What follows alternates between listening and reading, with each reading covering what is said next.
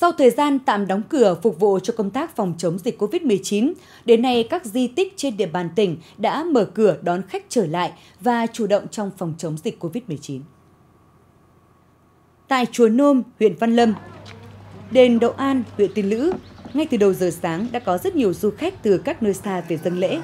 Ban quản lý di tích đã bố trí ngay ngoài cổng bàn để khẩu trang, nước sát khuẩn và hướng dẫn người dân khai báo y tế trước khi vào đền.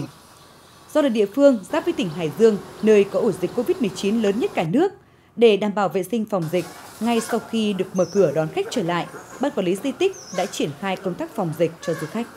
Ban chỉ đạo phòng chống dịch của xã đã cho cán bộ y tế là phun phòng dịch toàn bộ khu di tích để đảm bảo công tác phòng dịch khi khách đến chiêm ngưỡng và thắp hương và đồng thời là các đoàn lễ là đến thắp hương di tích thì đều phải là khai báo y tế nhắc nhở quý khách đến thắp hương thì phải đeo khẩu trang. Để đảm bảo công tác phòng dịch COVID-19 an toàn sức khỏe cho người dân và cả cộng đồng thì mỗi người dân cần phải nêu cao ý thức trong công tác phòng dịch và văn minh nơi công cộng. Có như vậy, chúng ta mới đẩy lùi được dịch bệnh, thực hiện nhiệm vụ kép vừa phòng chống dịch vừa phát triển kinh tế.